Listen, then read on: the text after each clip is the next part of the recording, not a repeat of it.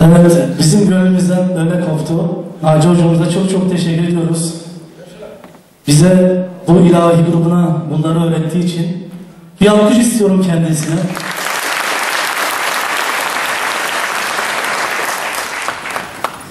Ve ayrıca aynı zamanda değerli Bilal hocamızı da davet ediyoruz.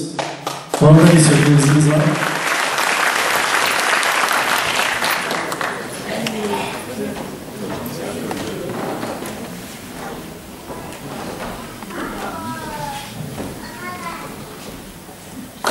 Evet bir alkış istiyorum değerli ülküzümüz için.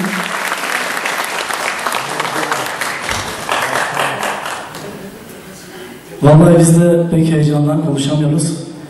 Değerli hocalarımıza, Bilal hocama ve Naci hocama çok çok teşekkür ediyoruz. Bizi öğrettiği için bu ilahileri çok teşekkür ediyoruz sana. Ben de e, burada şunu söylemek istiyorum. Baştan böyle bir çekingen bir halde bunlarla acaba bu iş gider mi diye epeyce bir düşündük. Tabii ki misafir davet edeceğiz, bir şey yapacağız. Ama baktık gördük ki epeyce bir ilerleme olmuş. Kendilerinden Allah razı olsun. Hocamız bizzat ve yalnız hoca ile de bitmiyor. Bu ekibimiz sağ olun arkadaşlar.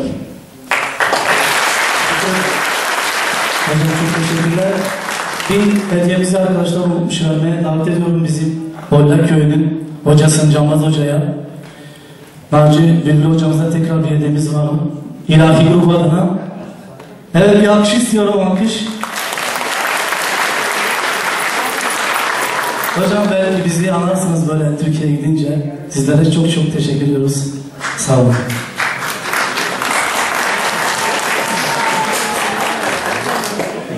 Ve çiçeklerimizi de bu arada unuttuk. Çok özür dileriz. Hocam Evet, yine mikrofonu değerli hocamıza veriyorum. Evet, anladığıma göre